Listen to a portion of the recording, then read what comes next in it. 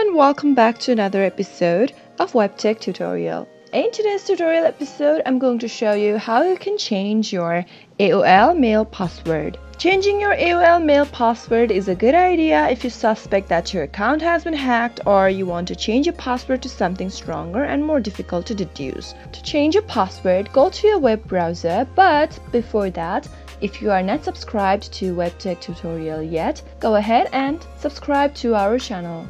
Press the bell icon so that YouTube will notify you whenever we post a new video. Search for AOL Mail on your search box. After you reach to the official site, sign into your account first. After you are signed into your account, click on the Options button located right below your name and go to Account Info.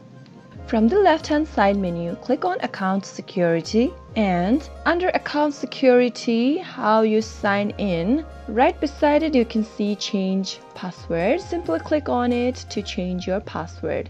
Now, create a new password for your AOL account. After you are done, click on the Continue button. You have successfully created a new password for your AOL account. Click on the Continue button and that is it. I hope the tutorial was helpful to you. If it was, go ahead and give it a thumbs up. Feel free to comment down below in the comment box if you have a question or a feedback for us. I'll soon be back with more tutorial episodes. Thank you for watching.